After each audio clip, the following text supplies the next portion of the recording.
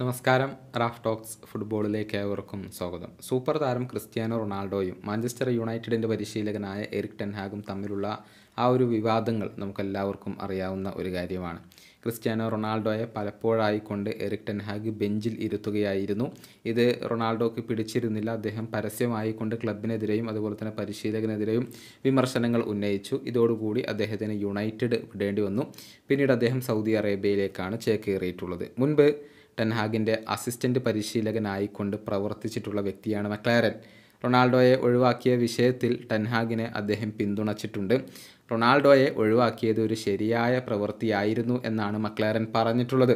ടെൻഹാഗിന്റെ നിലവാരത്തിന് പറ്റിയ ഒരു താരമായിരുന്നില്ല ക്രിസ്ത്യാനോ റൊണാൾഡോ എന്നും മക്ലാരൻ ഇപ്പോൾ കൂട്ടിച്ചേർത്തിട്ടുണ്ട്. അദ്ദേഹത്തിന്റെ വാക്കുകൾ ഇങ്ങനെയാണ്. എറിക് ടെൻഹാഗ് ചെയ്തതിൽ ഞാനൊരു തെറ്റും കാണുന്നില്ല. വളരെ നല്ല രീതിയിൽ തന്നെയാണ് അദ്ദേഹം അതിനെ കൈകാര്യം ചെയ്തിട്ടുള്ളത്. ടെൻഹാഗ് ഒരു സ്റ്റാൻഡേർഡ് ഉണ്ടാക്കിയിട്ടുണ്ട് ഒരു കളിശൈലി ഉണ്ടാക്കിയിട്ടുണ്ട്. അതിന് അനുയോജിച്ച താരമായിരുന്നില്ല റൊണാൾഡോ. അതുകൊണ്ടാണ് അദ്ദേഹത്തെ ഒഴിവാക്കിയത്. അതുകൊണ്ടാണ് റൊണാൾഡോയെ അദ്ദേഹം പുറത്തിരുത്തിയത്. മറ്റു പലരും റൊണാൾഡോയെ വെച്ച് അഡ്ജസ്റ്റ് ചെയ്യാൻ ശ്രമിച്ചിരുന്നു. എന്നാൽ ടെൻഹാഗ് അത്തരത്തിലുള്ള ഒരു പരിശീലകൻ അല്ല. അദ്ദേഹത്തിന് അദ്ദേഹത്തിന്റെതായ ചില വഴികളുണ്ട്. അതുകൊണ്ടാണ് മറ്റു താരങ്ങളിൽ ശ്രദ്ധ നൽകാൻ അദ്ദേഹം തീരുമാനിച്ചത്. ഇതാണ് ടെൻഹാഗിന്റെ മുൻ അസിസ്റ്റന്റ് പരിശീലകൻ പറഞ്ഞിട്ടുള്ളത്. മാഞ്ചസ്റ്റർ യുണൈറ്റഡ് വിട്ട ശേഷവും തന്റെ മാസ്മരിക പ്രകടനം തുടരാൻ ക്രിസ്ത്യാനോ റൊണാൾഡോക്ക് കഴിഞ്ഞിട്ടുണ്ട് എന്നുള്ളത് ഒരു വസ്തുതയാണ്. ഈ സീസണിൽ മാത്രമായി ഏഴ് ഗോളുകളും രണ്ട് അസിസ്റ്റുകളും അദ്ദേഹം സ്വന്തമാക്കിയിട്ടുണ്ട്.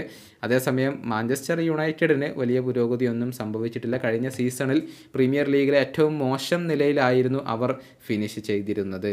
ഈ വീഡിയോയുടെ അവസാനിപ്പിക്കുന്നു. ഫുട്ബോൾ ലോകത്തെ കൂടുതൽ വിശേഷങ്ങളുമായി റാഫ് ടോക്സ് കൊണ്ടുവത്താം.